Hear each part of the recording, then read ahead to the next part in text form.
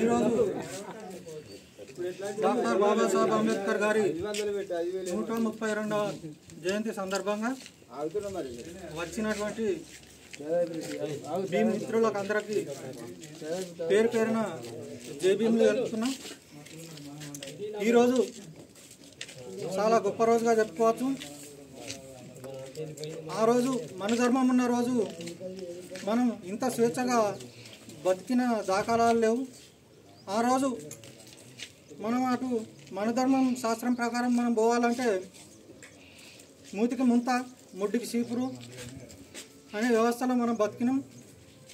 కనీసం బట్టలు లేకుండా కూడా అరకొర బట్టలతోటి మనం బతకడం జరిగింది. ఈరోజు మన పెద్ద మనుషులు ఉన్నారు. చాలామంది చూసే ఉంటారు. నాడు ఎట్లా జరిగిందో ఈరోజు ఎట్లా జరుగుతుందో. ము- మూతికి ముంత ముడ్డికి చీపురు దగ్గర నుంచి ఈరోజు పెద్దరంగి వేసి ఈరోజు ఇక్కడ నిలబడి మాట్లాడుతున్నాం అని అంటే అది ఖచ్చితంగా అంబేద్కర్ గారి దయవలని అని మనం చెప్పవచ్చు. మనకు భారత రాజ్యాంగం లేకుంటే ఈరోజు ఈ భారతదేశం అత్యధికంగా టెర్రరిస్టు దేశంగా మారే అవకాశం ఉంది. ప్రతి మతానికి ప్రతి కులానికి ప్రతి మతానికి కూడా స్వేచ్ఛనిచ్చింది ఏది అని అంటే భారత రాజ్యాంగం. ఆ భారత రాజ్యాంగం ప్రకారం ఈరోజు ప్రతి వ్యవస్థ పోలీస్ వ్యవస్థనే కానీ ఎంఆర్ఓ వ్యవస్థనే కానీ ఎమ్మెల్యే వ్యవస్థనే కానీ ఏ వ్యవస్థ అయినా కానీ భారత రాజ్యాంగం ప్రకారం నడుస్తుంది.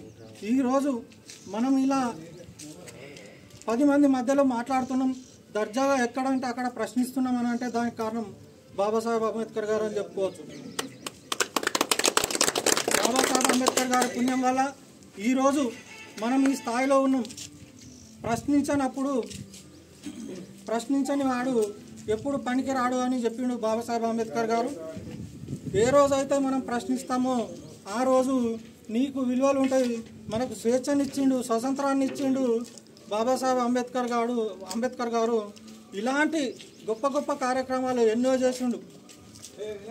న్యాయశాఖ మంత్రిగా ఉండి కూడా మహిళలకు స్వేచ్ఛ ఇయ్యము అని అన్నందుకు ఆ రోజు మహాత్మా గాంధీ గారు మనవాద శాస్త్రంలో మహిళలకు స్వేచ్ఛ ఎందుకు మహిళలకు స్వేచ్ఛనే ఉండద్దు అని అన్నప్పుడు బాబాసాహెబ్ అంబేద్కర్ గారు ఆ రోజు న్యాయశాఖ మంత్రి మహిళలకే స్వేచ్ఛ అయినప్పుడు నాకు న్యాయశాఖ మంత్రి అవసరం లేదు అని న్యాయశాఖ మంత్రి రిజైన్ చేయడం జరిగింది. ఈ రోజుల్లో ఎంతమంది ఉన్నారు? ఒక పదవి వచ్చినాక పదవిని త్యాగం చేయడానికి ఎంతమంది ఉన్నారు? ఆ రోజు ఒక న్యాయశాఖ మంత్రి పదవికే రాజీనామా చేసిన ఒక గొప్ప వ్యక్తి బాబాసాహెబ్ అంబేద్కర్. ఆ రోజు మహిళలు అనేవాళ్ళు వంటింటికి మాత్రమే పరిమితంగా ఉండేవాళ్ళు. రాజ్యాంగం రాకముందు మనవాద శాస్త్రం ప్రకారం అయితే వంటింటికి మాత్రమే ఉండేవాళ్ళు. ఎందుకనంటే ఆడవాళ్ళు బయట తిరగదు. కిచెన్కు మాత్రమే పెళ్ళి చేసుకుంటానికి పనిచేస్తారు.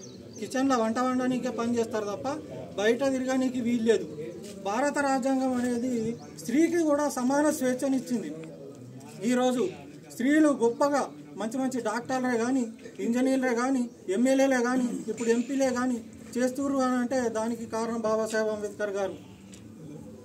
ఒకరోజు ఇందిరాగాంధీ గారు పూరి జ- పూరి జగన్నాథ స్వామి ఆలయంలోకి పిఎంగా ఉన్నప్పుడు పూరి జగన్నాథ గారి ఆలయంలోకి ప్రవేశానికి వెళ్తారు. అక్కడి నుంచి వేద పండితులు పైనుంచి వస్తూ ఉంటారు గుళ్ళ నుంచి.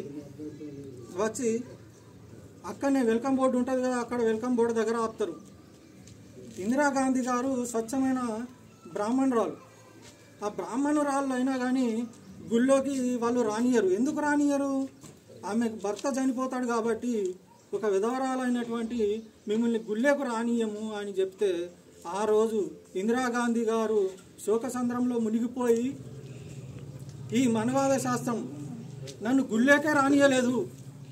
కేవలం డాక్టర్ బాబాసాహెబ్ అంబేద్కర్ రాసిన రాజ్యాంగం నన్ను అసెంబ్లీకి పంపింది అని చాలా గొప్పగా అసెంబ్లీలో చెప్పుకోవడం జరిగింది. పార్లమెంట్లో చెప్పుకోవడం జరిగింది. ఇదంతా బాబాసాహెబ్ అంబేద్కర్ గారి దయవల్ల అని చెప్పుకోవచ్చు. ఈరోజు ఇంతమంది వచ్చిన మిత్రులకు ఈ ప్రోగ్రామ్ సక్సెస్ చేసిన ప్రతి ఒక్కరికి జైబీములు తెలుపుతూ ధన్యవాదాలు.